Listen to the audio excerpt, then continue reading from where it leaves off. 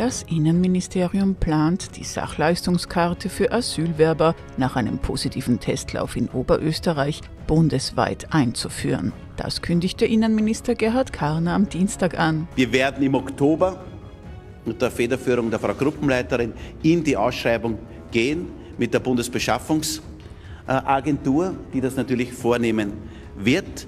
Und wir wollen eine flächendeckende Umsetzung der Sachleistungskarte ab Anfang 2025. Das ist das klare Ziel, weil es wesentliche zentrale Vorteile bringt, einfachere Verwaltung, Missbrauchverhinderung. Die Karte verhindere so zum Beispiel Geldflüsse an Schlepper und Überweisungen in Heimatländer, so Karner.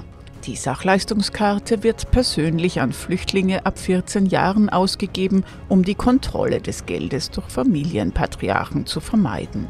Aktuell sind beim Pilotprojekt etwa 130 Karten im Einsatz, die alle Leistungen der Grundversorgung abdecken. Monatlich können davon 40 Euro Taschengeld abgehoben werden. Die Karte ist in bestimmten Branchen, wie zum Beispiel Wettlokalen, nicht nutzbar. Karner kann die Länder nicht zur einheitlichen Nutzung zwingen, aber er hofft auf eine rege Beteiligung.